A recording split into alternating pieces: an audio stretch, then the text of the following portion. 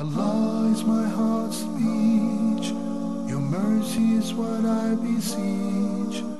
Keep in my heart your remembrance and in your deen allow me to advance. Help me in my quest. Permit me to pass the ultimate test. Help me in my quest. Permit me to pass the ultimate test.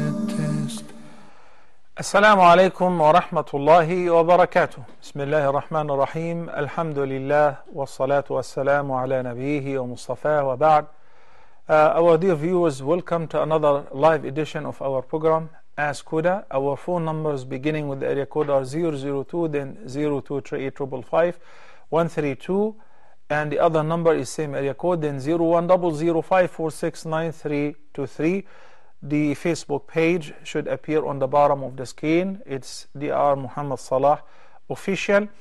Uh, as I mentioned earlier, Alhamdulillah, uh, this is a live edition of your program Ask Huda.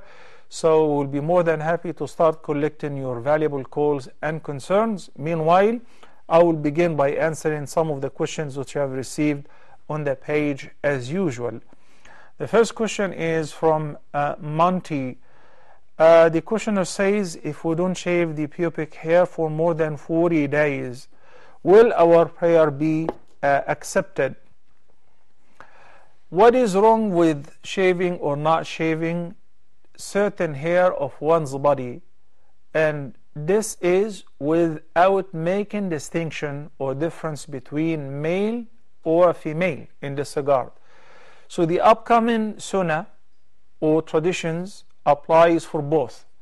The Prophet ﷺ said, as in the hadith which is collected by uh, Abu Dawood, the Anas ibn Malik radiallahu anh narrated that the Prophet ﷺ وقت لنا في قص الشارف الشارب ونتف الإبط وحلق العانة وقص الإظفر أربعين يوما This is very interesting ألا تترك أكثر من أربعين ليلة Anas ibn Malik, may Allah be pleased with him, narrated that the Prophet ﷺ said, He appointed for us the maximum period of time that a person can leave the nails, the underarm hair, the armpits, and the pubic hair, and trimming the mustache for men.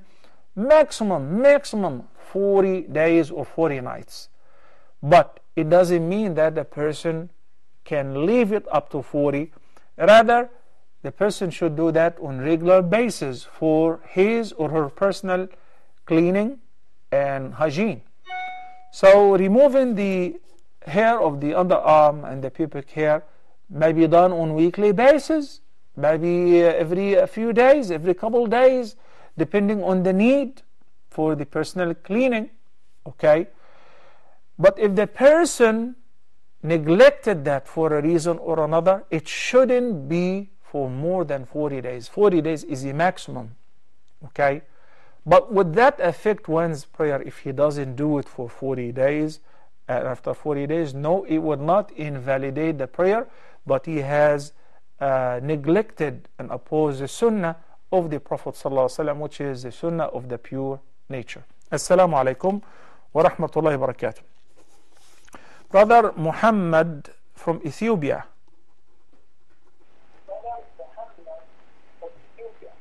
السلام عليكم وعليكم السلام ورحمة الله وبركاته. Welcome to Ask Huda, Muhammad. Mute your TV, please, Muhammad. How are you, doctor? I'm doing fine, Alhamdulillah. Please mute your TV. Okay, okay, doctor.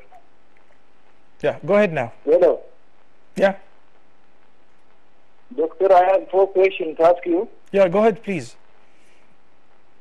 The first one is, uh, what is the ruling on uh, calling ourselves uh, Salafiyya? Calling yourselves. You mean to call Yeah, yourself such name? Okay. Yeah, yeah. The second one is uh, how to make a ruqa to mahram girls or ladies, especially, you know, we are in mixed universities and they are sick uh, and uh, how should we do? They are, we have uh, many opinions in our uh, jama'ah and that is, we want to clear for us. Uh, in which condition? In the masjid, in the classroom, uh, in parties? Where exactly? In the in the masjid, in the masjid. In the masjid. Okay. Yeah. The third question is, uh, can I be able to keep uh, or uh, store my money in a bank that operates both interest and non-interest banking service together? Mm. Yeah, both interest and non-interest. Both they do in the same bank. And uh, can I be able to store that money? Okay. Next question, please. The fourth one is, uh, can I be able to post my photos on social media, like uh, Facebook or uh, so on? Can I be able to post my photos, my image? Okay. Thank you, Muhammad from Ethiopia. His first question is Is it permissible to call himself Salafiya? Uh, you mean Salafi? Uh, because the ya here is to ascribe or to attribute any person to a place or to a figure or to a time. So we say the Quran is uh, two parts. There is Makki which was revealed in Mecca before the migration. So it's called Makki. We add the ya, nisbatan ila Mecca. Then we say Madani because it is ascribed to the Medina time, the era which is after the migration. The word Salaf means predecessors. So it refers to mainly the generations whom the Messenger of Allah, peace be upon him, have admired. He said, خَيْرُ النَّاسِ قَرْنِي the best of people of this ummah obviously are my generation the companions then those who shall come after uh, after them who are known as the followers or at-tabi'in ثم الذين يلونهم then the third generation those who come after the followers they are known as tabi'i at-tabi'in then afterward problems would arise and people will take it easy on the, the religious commitment and so on. So the people who ascribe themselves to the earliest generations of this ummah, they assume by doing so we're following the footsteps. It is okay if you want to call yourself such name, following the Salaf, the predecessors, the companions of the Prophet ﷺ. And if you don't, there is no problem whatsoever. What matters is not the name. Actions speak louder than words. What matters is your behavior is how do you observe your religious duties and how do you deal with people to be continued inshallah after this call assalamu alaikum. Sister amina from the usa assalamu alaikum. Wa alaikum assalam wa rahmatullah. Go ahead sister amina. Uh, okay. I have uh, three questions. Yeah? Um, the first one is uh, if one finds that their heart is not as connected to Islam as it was when they first converted, Mm-hmm. uh, what are some steps that they can take to renew that sweetness? Okay. And uh, being from the United States, I often get asked a lot of questions about women's rights in Islam and stuff like that. Uh, why would I convert to a religion that's so heavily uh, dominated by males? Mm-hmm. Um, so I have two questions in regards to that that I've been asked. Um, the first one is, uh, can you explain the ruling on hitting one's wife, and under what circumstances would that be permissible? Mm. Uh, and the other one is, um, why is it that in Islam uh, it's always portrayed as a men's religion uh, in terms of like the well everything like the rewards that men get in Jannah as opposed to the rewards that women will get in Jannah and so on and so forth. Mm. Yeah, and that's it. Uh, that is two questions. You said you have three. Oh yeah, one more question. No, no, it's two. That was two questions. And Yeah. The third one, the third one I asked already was about um, the converting to Islam and finding the sweetness in it again. Okay. Uh, so, Sister Amina, how long you been a Muslim? Uh, it's going to be going on eight years. MashaAllah, MashaAllah. And uh, uh, which you said, are you from? I'm from California. Okay, so I'm pretty sure you have uh, plenty of Islamic centers nearby. Alhamdulillah. Okay, good, Alhamdulillah. And do you uh, regularly go to the masjid or to the Islamic center? I used to. I've kind of um, pulled away from it because I've just seen a lot of corruption there, Really? and uh, many in many of the masajid that are around. So I, when I first converted to Islam, uh, I found it to be very beautiful that all races could be in one room worshiping Allah at the same time, the way that He deserves to be worshipped. But more now, recently, I've seen um, a division amongst the Muslims. There's a lot of cliques, and um, you know, the Arabs stay with themselves, and the Africans stay with themselves, and us converts, we just kind of get thrown to the wayside. Mm. So Okay, you may as well collect my number or leave your number um, in the control, inshallah, uh, for further discussion about this matter. But I will be more than happy to answer your questions right now, inshallah. Let me finish answering Muhammad from Ethiopia. So, with regards to the title Salafi, the word itself doesn't make any person better than another Muslim. What makes a Muslim a true Muslim is his or her practice. So, wearing a shimag, which is the headscarf for men, then an outer garment, which is neat and highly decorated, and all of that, would not make this person supposedly Salafi and a better Muslim than another Muslim who's wearing uh, uh, a nice shirt and trousers for innocence. Rather, they practice. As far as the religious commitment, that is something between you and Allah the Almighty for the prayers, for the fasting, for you know the rest of the rituals or the ibadat. Now, the determining factor is how do you deal with others of your own faith and of others who are not following your faith, with others who are other human beings or others, animals perhaps, nature itself. The Prophet ﷺ said, The best of all of you, and those who will be the nearest to me on the day of judgment, and will have the closest seats to me, أحسنكم أخلاقا, are the best of manners. Those who have the best of manners. Those who deal with people in the best way. In the hadith which is narrated by Mu'adh ibn Jabal, radiyallahu anhu, and Abu Dhar al-Ghifari, the Prophet ﷺ said three beautiful advices. The last one of them was وَخَالِقِ النَّاسَ بِخُلُقٍ حَسَنٍ Be well-mannered in your relationship with all people. If you're so, then you are truly following the Prophet and the predecessors, the companions, and so on. But if you're cruel, no matter how long is your beard, and how big is the prayer mark in your head, and how many days you fast, if you're harsh hearted, if you are being judgmental of others, this guy is a good Muslim, and this guy is rebellious, and this guy is an innovator, and this guy is whatever, please stay in your room, lock yourself in your room, make sure that you do not hurt others and hurt their feelings because you are a transgressor. It is not the name whatsoever, it is not the title. You want to know what I'm following myself?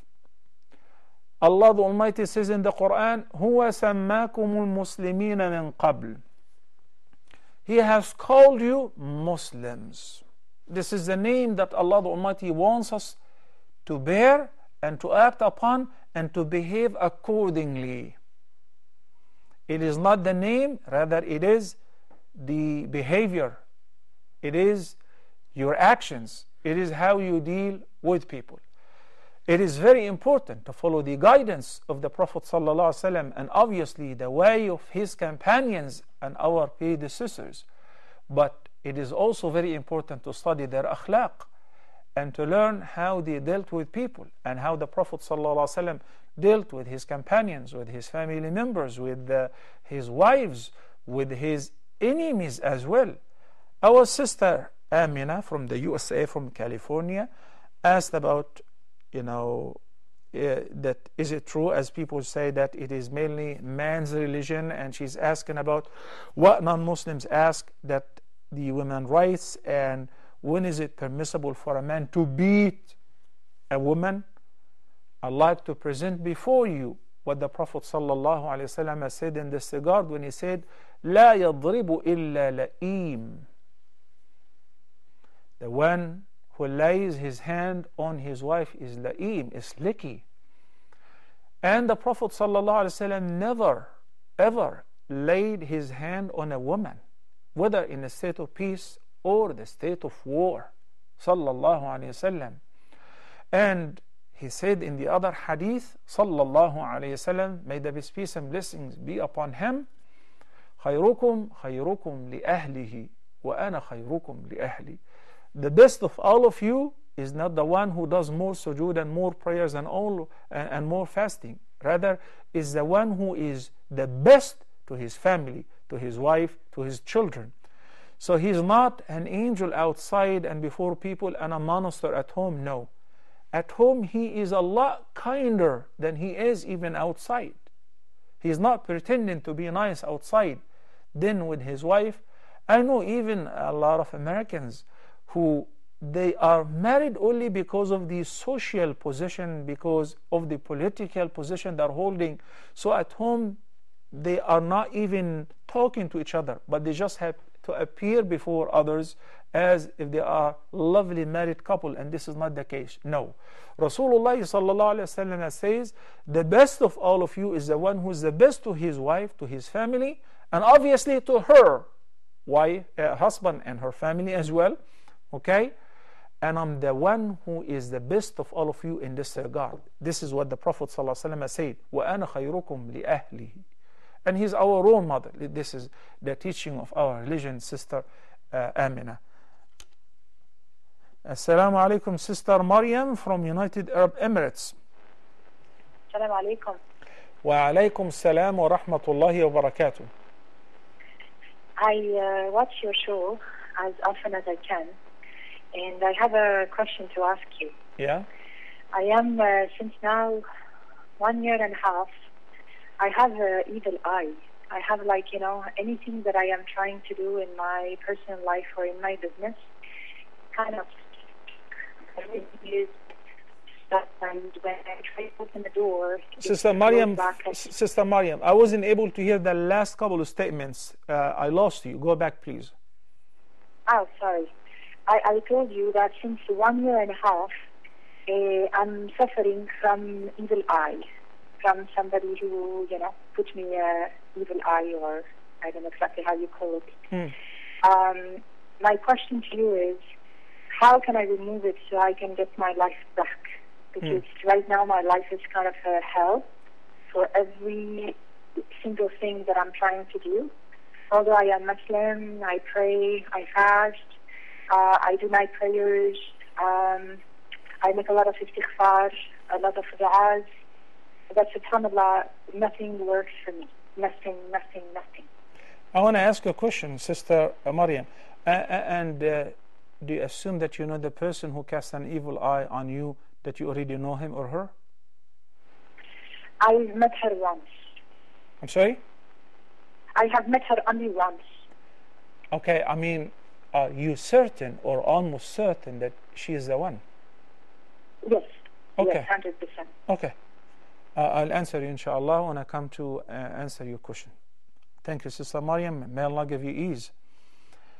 Um, obviously, Sister Amna, uh, I didn't finish answering your questions. I just, you know, I was referring to what the brother said from Ethiopia in his first question about being Salafi or um, you know is it permissible to call yourself so his second question is uh, mixing in the masjid between men and women and so on okay since you said in the beginning that you were asking about you know calling yourself you're following the way of the predecessors and uh, obviously the predecessors or the companions and at-tabi'in and their followers have been strictly following the guidance of the Prophet. Do we have any clue how the Muslims, the companions, used to pray with the Prophet in his masjid, in Al Masjid al Nabawi, or we don't have any information in this regard. As a matter of fact, we do. Okay, tell us. Was there like a barrier, a partition, a wall, a curtain? Um, tell us.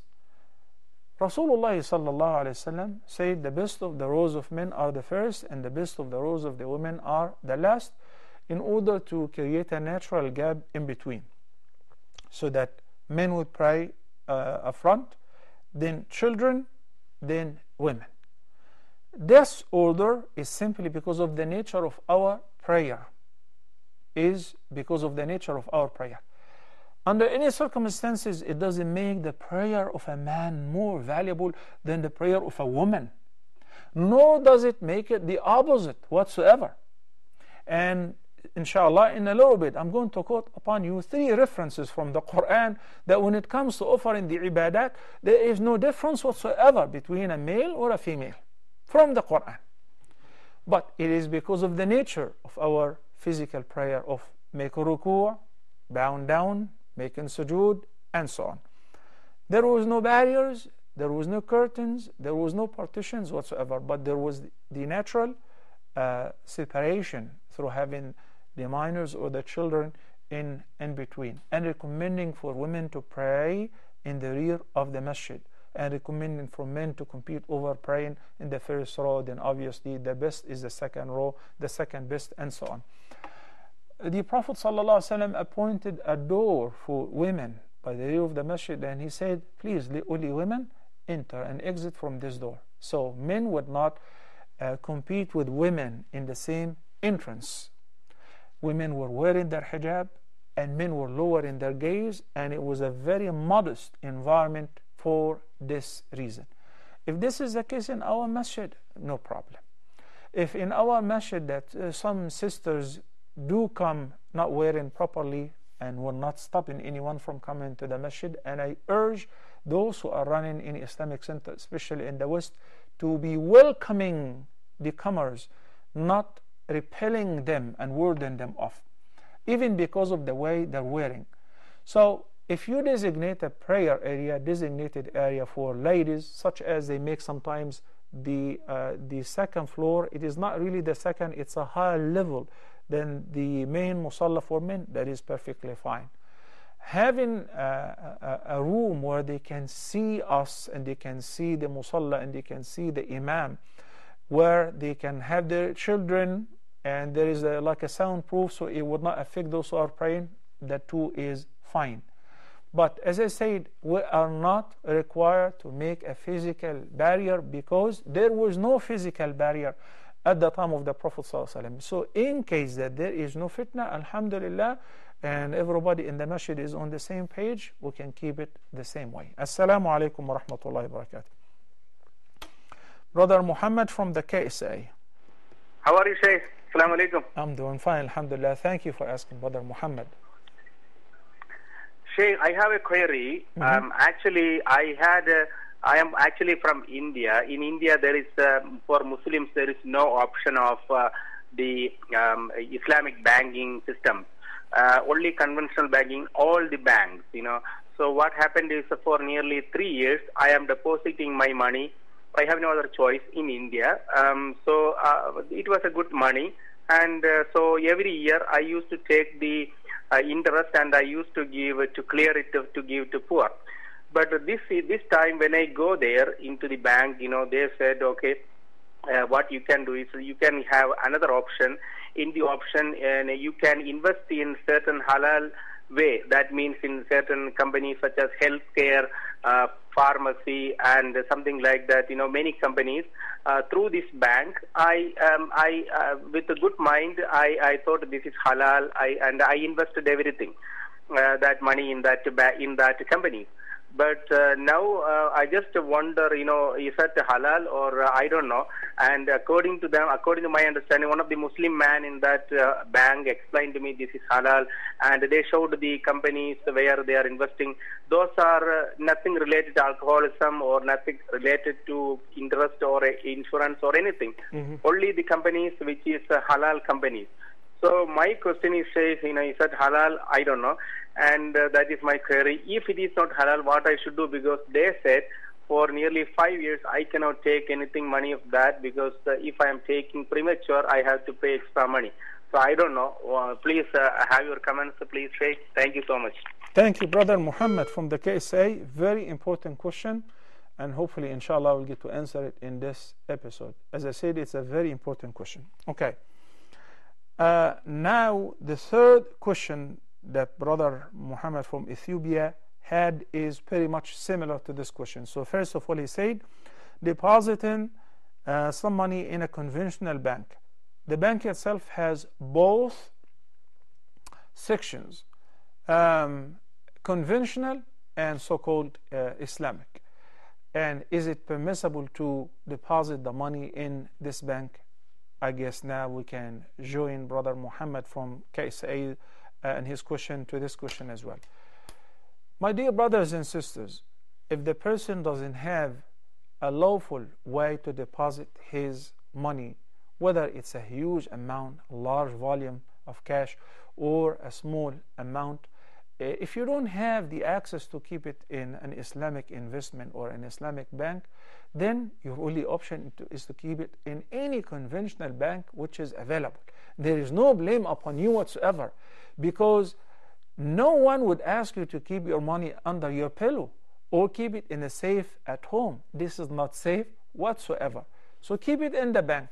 But Sheikh, they generate interest and they give it to you. Do as Muhammad from the KSA used to do. Do not leave the interest for them. Collect it and give it away. It is not a sadaqah from you because it is not halal. It is simply getting rid of the interest. So you're not blameworthy whatsoever? No, you're not blameworthy whatsoever. Muhammad from Ethiopia said, but they say that we have an Islamic transaction uh, department. And I walked into one of those banks here in Egypt, in Cairo, once, and they said the Bank of whatever, the Department of Islamic Transaction. So I spoke to the manager and I said, you know, when you have this huge sign which says Islamic Transaction Department, what does it mean? It means that you are inclusively admitting that the rest of the departments or the main bank is not Islamic, is dealing with riba. Don't you think so? So he patted on shoulder and said, Look, we all know all of that. It is basically to soothe and accommodate the investor or the depositor, the person who has money, to bring him to save his money with us or to invest it whichever way. But it is the same safe and we deal with it the same way. It makes you happy to tell you that it is halal. We will tell you that it is halal, but we do the same with your money and with the money of the other person who before depositing his money he knows that he will be collecting 10% 11% or 20% uh, right now 20% in some banks uh, as interest doesn't care. He only cares about how much revenue will I get guaranteed and my capital sum is fixed. This is 100% riba, no doubt in this regard. Okay? But some people are reluctant to deposit their money with us because of the fixed rate, so we make it, uh, you know, sounds halal for them by saying it's Islamic. Uh, how much will you get? Oh, maybe 16, 14, 13, we're not sure.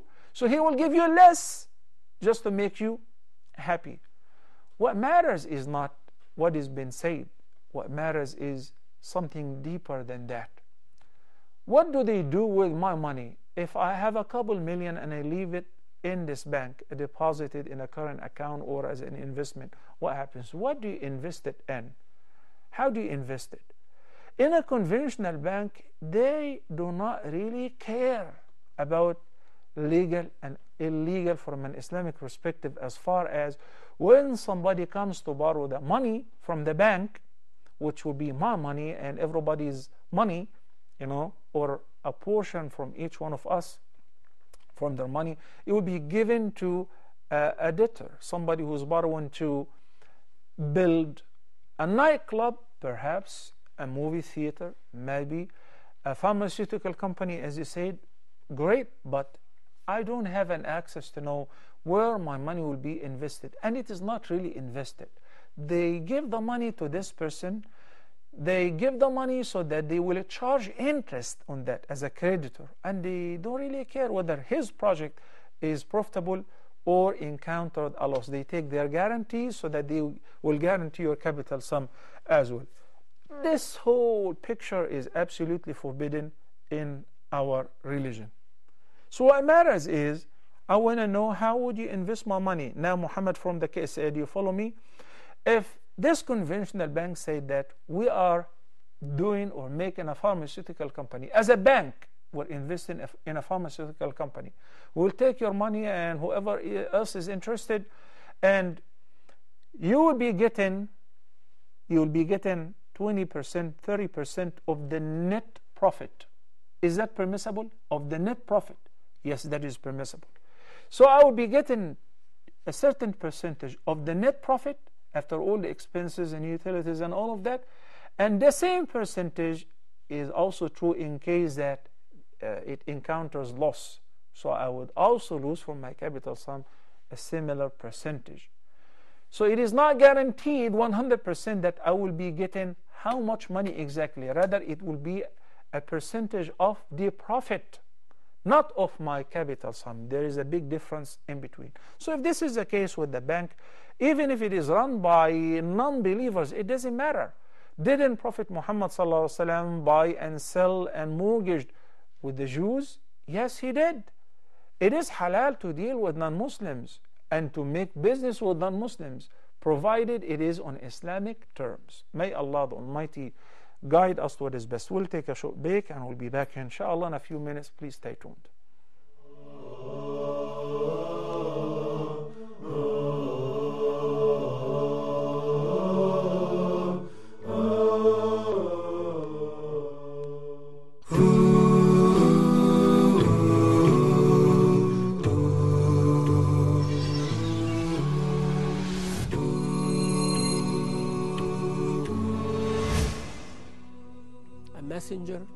messenger after a messenger, ending with our beloved Prophet Muhammad sallallahu alayhi wasallam, Prophet Nuh alayhi salam, Prophet Hud alayhi salam, Prophet Salih alayhi salam, Prophet Ibrahim alayhi salam, Prophet Musa alayhi salam, Prophet Isa alayhi salam, and our beloved Prophet Muhammad sallallahu alayhi wasallam. A series of the lights of guidance discussing the messengers of Allah subhanahu wa ta'ala, learning from their lives, going through this exciting, amazing, informative, special journey with the lights of guidance on Huda TV, where we will discuss together, where we will live together with each and every prophet in an amazing episode, learning from them pondering upon their experience, meditating upon their life, relating to it, and getting lessons that affects us in our life to be the servants and the followers of those prophets and the servants of Allah subhanahu wa ta'ala. We will be discussing this series of lights of guidance. So be with me and join me in this beautiful series so we learn together and we pass it through the next generation. So please join us on Huda TV. I will be with you in this amazing journey. Wassalamu alaikum wa rahmatullahi wa barakatuh.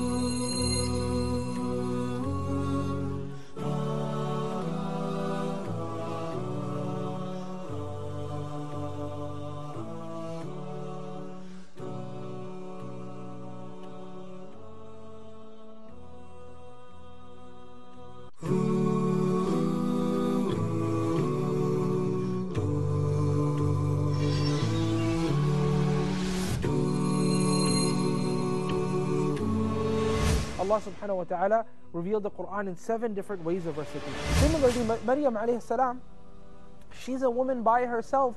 She doesn't even have a husband who's ever touched her, and Allah subhanahu wa ta'ala granted a child to Maryam alayhi salam. Look at that. She said that how will I have a child? وَلَمْ يَمْسَسْنِي بَشَرٌ how will I have a child whilst I've never even been touched by a man? One of the unique things about this story is that it's not like Umar al-Khattab hasn't heard these verses. Can you imagine that Umar al-Khattab hasn't heard these verses?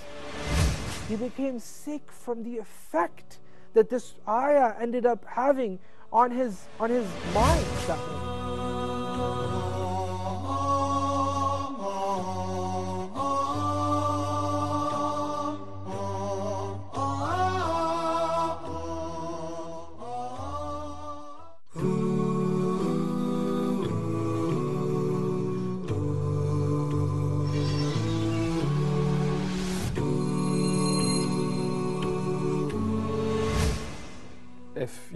positive, you cannot motivate. Absolutely. If you are not positive, you cannot recognize, you cannot even look for the good things. Absolutely.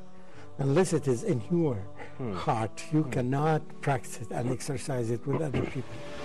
The meaning of the word La ilaha illallah to everyone, to all the people who are around him. Right. As many people as he can. So this is the mission. Mhm. But this concept solves many problems. Yes. Whenever you visit a place that the Prophet Muhammad is sitting in, Hmm. if you don't know him, you will never be able to say that this is Prophet Muhammad or this is Prophet Muhammad. Tell me about a person in this world who does not need mercy. Hmm. Mercy is a key way Of or a key word for healing the hearts of human beings. What happens is they get so many rejections, but they feel so bad about themselves. They don't know that what's been rejected now is your current skills, your current experience, which by time and effort can develop. Temporarily, you are going to, you are doing this job, so perfect it. And this is part of our great religion is Hmm. perfection. And Hmm. perhaps there is another chapter about this. Right. Perfect your work. Give Mhm. the right to the job that you have.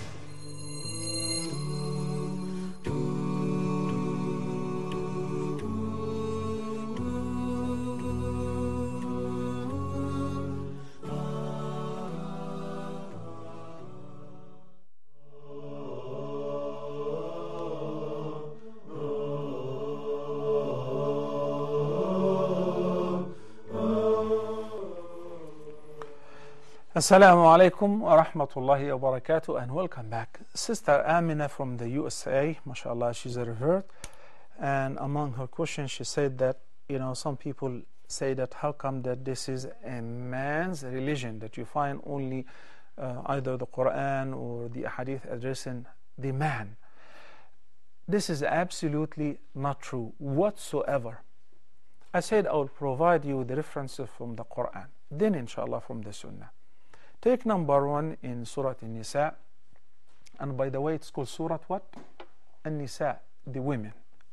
There is no other sacred book whatsoever of all the previous books, all, all the books which its followers they perceive them as sacred, while we believe that they are not the books of Allah. Not a single book, and I do teach comparative religions. Not a single book.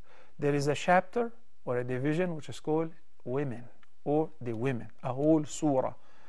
And this surah in ayah number 124, Allah the Almighty says, وَمَنْ يَعْمَلْ مِنَ الصَّالِحَاتِ مِنْ ذَكَرٍ أَوْ أُنْثَى وَهُوَ مُؤْمِنٌ فَأُولَئِكَ يَدْخُلُونَ الْجَنَّةَ وَلَا يُظْلَمُونَ نَقِيرًا And whosoever does good, good deeds, من الصالحات, whether a male or a female, while in a state of belief, while in a state of belief, وهو مؤمن فأولئك يدخلون الجنة such people shall enter paradise and they will not be wronged and ought in Surah An-Nahl verse number 97 again Allah the Almighty says من عمل صالحا من ذكر أو أنثى وهو مؤمن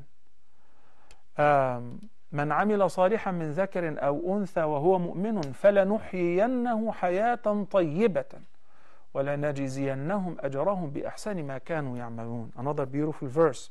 Whosoever does good deeds, whether a male or a female, while he or she is a believer, we shall give them a goodly life in this life, and we shall reward them according to the best of what they used to do.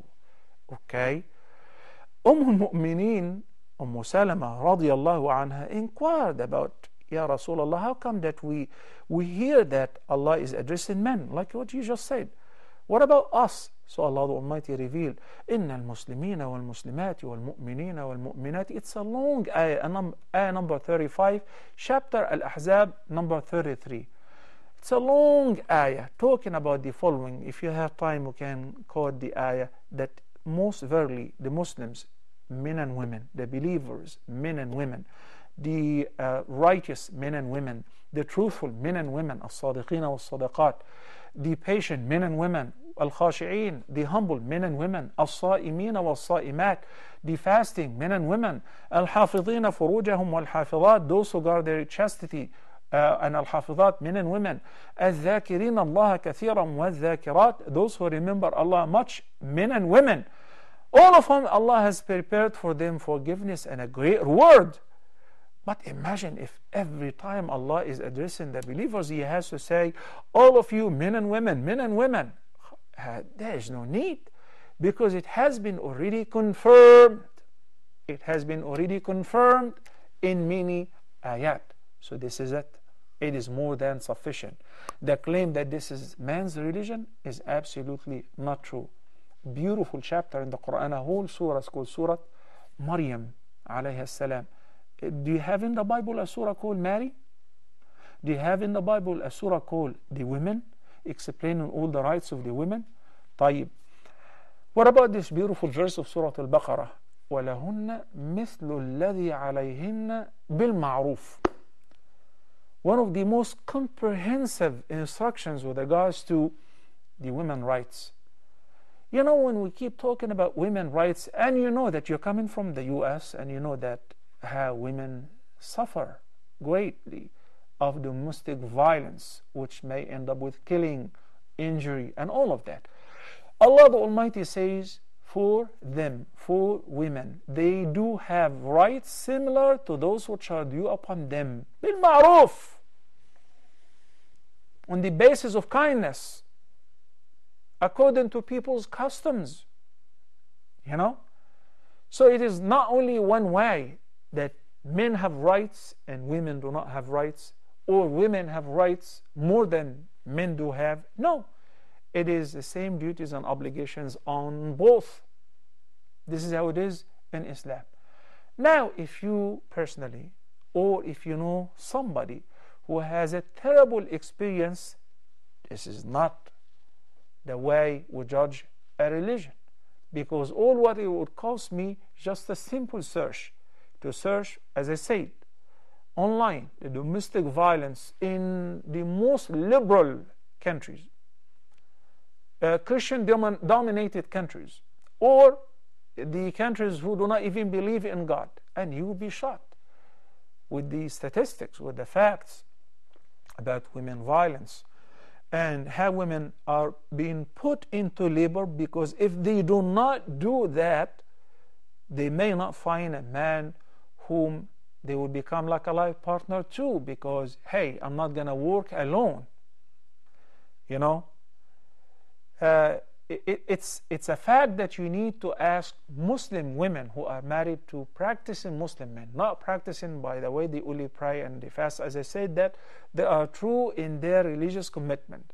So this is simply the condition in, of women in Islam. I'll be more than happy to send you a beautiful book about women rights in Islam if you send your uh, address, inshallah azza um, as far as what a person should do in case that their faith is much lesser than the day on which they accepted Islam.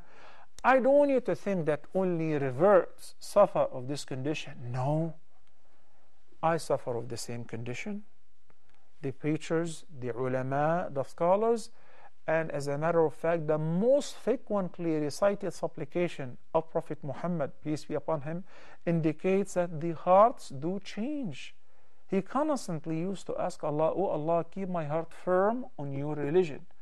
Because we live in the dunya, there are ups and downs, tests and tribulations and trials. And the Iman increases and decreases. But we also know what increases one's Iman and what decreases one's iman. Last episode, last week before I traveled, I quoted a woman, the wife of Thabit ibn Qais.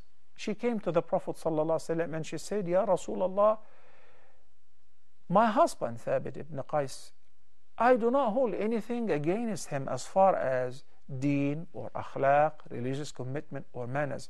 ولكني أكره الكفر في الإسلام I'm just afraid that I will be practicing such, such a big sin, or maybe even to the extent of being kufr while I'm a Muslim woman. I cannot live with this man.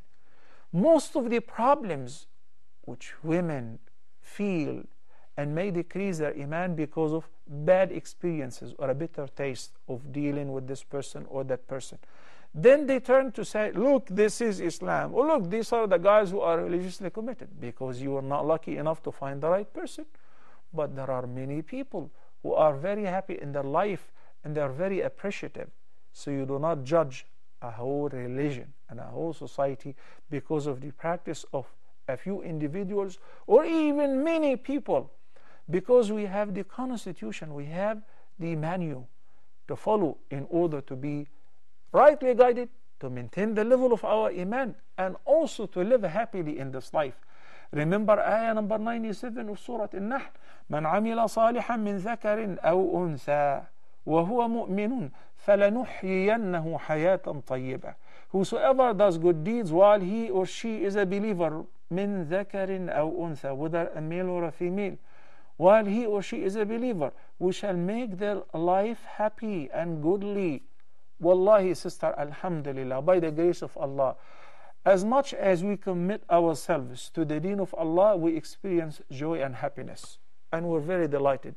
Even if we are tested we are grateful. And we are thankful because we know that the tests and the trials are inevitable.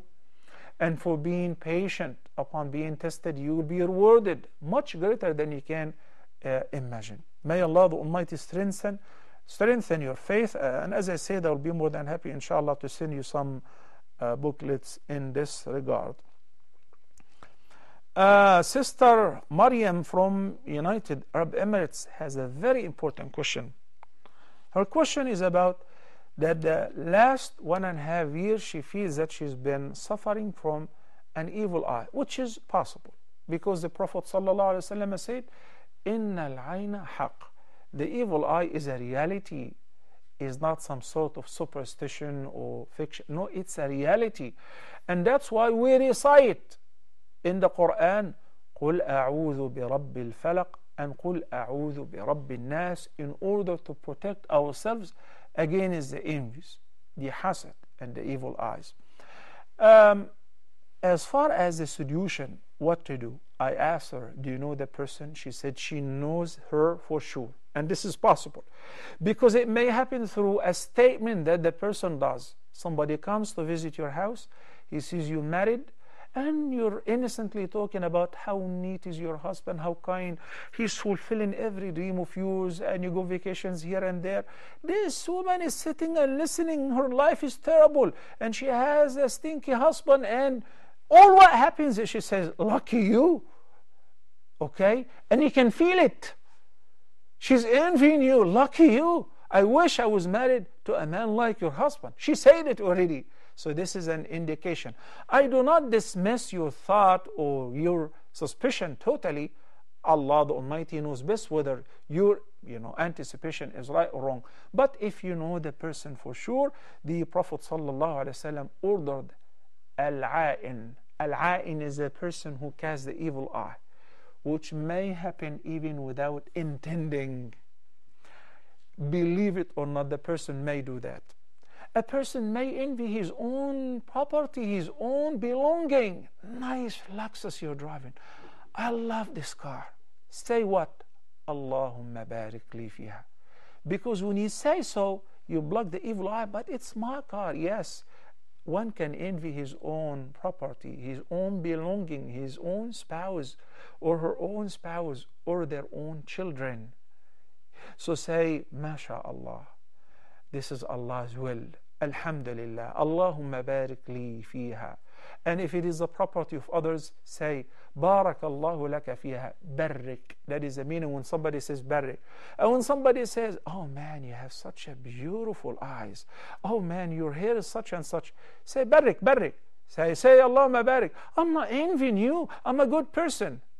Even if you're a good person, say Allahumma barik. There is nothing wrong with saying that. And take this hadith in order to know what I'm talking about. The hadith is a sound hadith. I know we ran out of time, but this is very important. Our uh, producer gotta uh, be patient with me for a little bit. For all the viewers, Abu Umama, uh, Sahl ibn Hunayf, may Allah be pleased with him, said that uh, there was a Sahabi by the name Amir ibn Rabi'ah. Have seen Sahl ibn uh, Hunayf, may Allah be pleased with him, with all of them. He was once taking a bath, and as you know that when the person is taking a bath, uh, his body is exposed. And Sahl was a very beautiful and handsome person. Uh, the Meccans and the people in, in the Bedouins, with dark complexion. But this guy was very fair complexion, had a very fair complexion, very white. So he showed that he's very impressed. Look at his white skin. When he said so, all of a sudden Sahl fell unconscious and he collapsed. And he was so sick, so weak, and very vulnerable. So they took him home and he wouldn't even move. He was like paralyzed. So they ran to the Prophet ﷺ and said, Ya Rasulullah, uh, uh, hurry, Sahl is, is collapsing and he can talk, he can move. He said, What happened?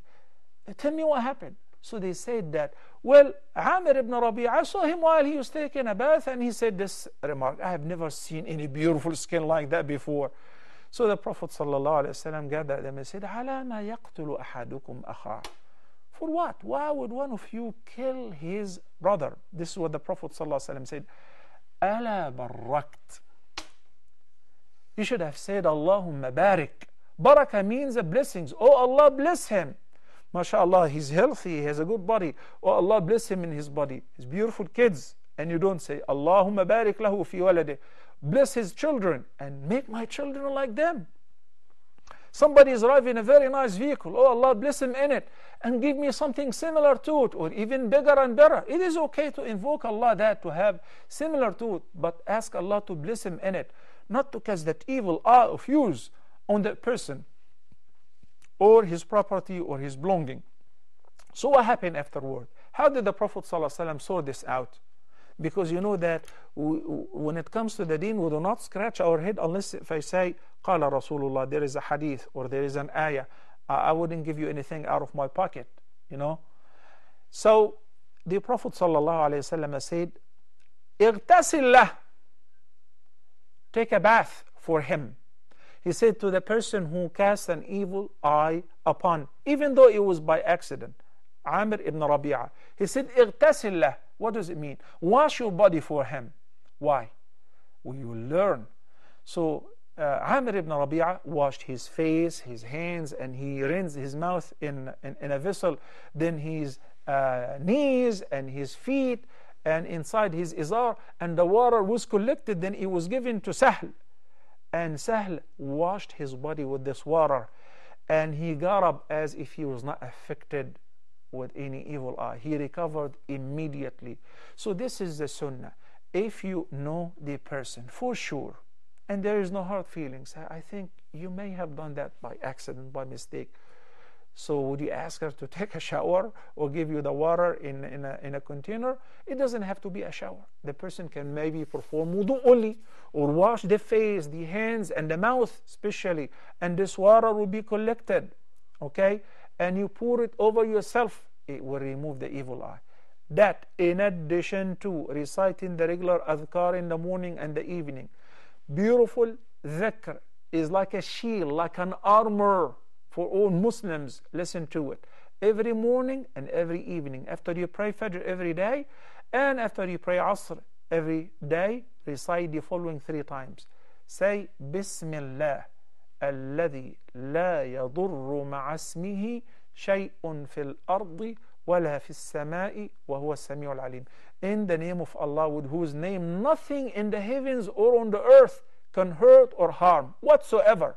Recite this supplication three times in the morning and in the evening. Again, بسم الله الذي لا يضر مع اسمه شيء في الأرض ولا في السماء وهو السميع العليم.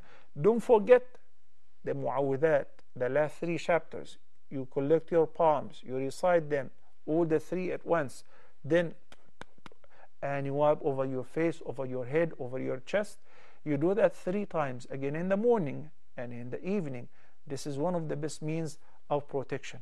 And as I said, the hadith of washing the body for al-a'in, the person who may have cast the evil eye, so that you collect the water and you pour it over your body and you wash with it. Brothers and sisters, we really went over time. May Allah the Almighty accept from all of us and forgive us our sins. Wassalamu alaikum wa rahmatullahi wa barakatuh. Allah is my heart's speech. Your mercy is what I beseech. Keep in my heart your remembrance and in your deen allow me to address. Help me in my quest. Permit me to pass the ultimate test.